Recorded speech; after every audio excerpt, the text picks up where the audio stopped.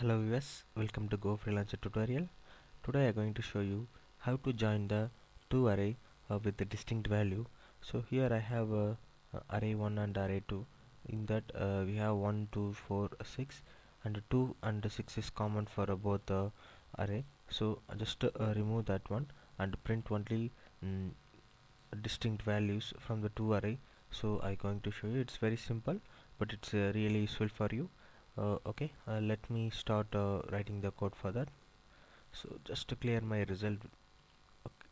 I'm using here LINQPad so I going to uh, do a dump operation to display in the result but that won't be included in normal web applications.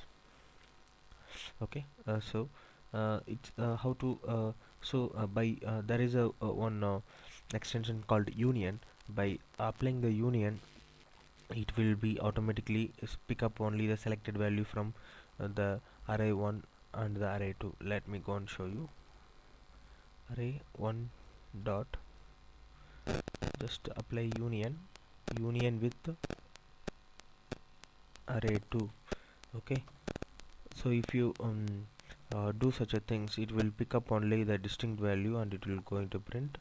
So let uh, first it will print all the array 1 and it will check uh, the uh, array 2 with array 1 if it is exist uh, it will be no not print. Okay i am going to just dump this result in the output. Okay that's it. So why i'm using dump is it is uh, this is an extension that is uh, for LINQPad so you guys no need to use that if you are using the web application. So okay let me go and dump the result. Just execute that yep we got the result.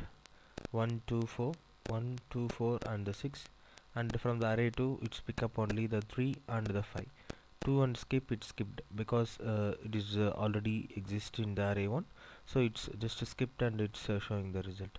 Hopes you understand. This is the way to join the two array uh, with the distinct values. It's very simple. By applying the union uh, it will be works easily. So uh, hopes you understand. Try apply uh, this in your application. It will be really helpful. If you have any doubt or queries please comment us. Please subscribe our channel if you not subscribed.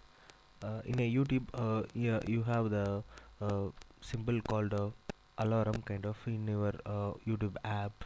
If you are using seeing in the youtube app just go to my channel and click that one. You will get the regular updates in the notification